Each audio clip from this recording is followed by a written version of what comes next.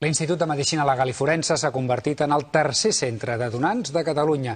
Totes aquelles persones que moren per causes no naturals, accidents, suïcidi o mort sobtada i que van a parar a aquesta institució poden ser donants. A l'Estat no hi ha cap altre dipòsit de cadàvers que ho faci i de donar no només còrnies, ara també s'ha passat a donar teixits.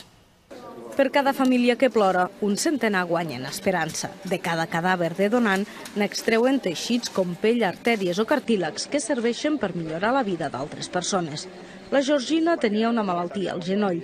Posar-li una pròtesi a un menor no és una solució. Li han transplantat el cartíleg fresc d'un mort. Empecé a andar y, empecé a notar que no me dolía siquiera. Lo comparo con las anteriores operaciones y es que la diferencia de verdad es muy grande.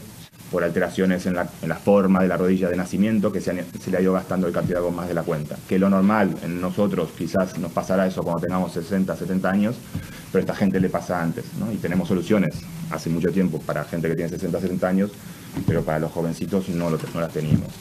La particularitat d'estos donants és que són de l'Institut de Medicina Legal, per tant, cadàvers judicialitzats, gent que s'ha suïcidat o que ha tingut un accident.